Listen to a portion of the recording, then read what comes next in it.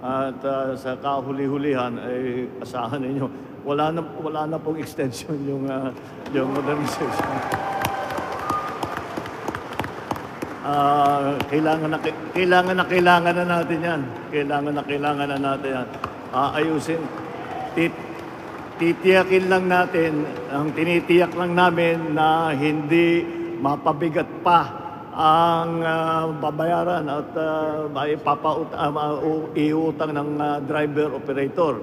Kaya uh, ginagawa nating maayos at ginagawa nating well organized yung sistema na 'yan. Ah, malaking problema ay ang ah, yung pagpasada ng mga kolorum.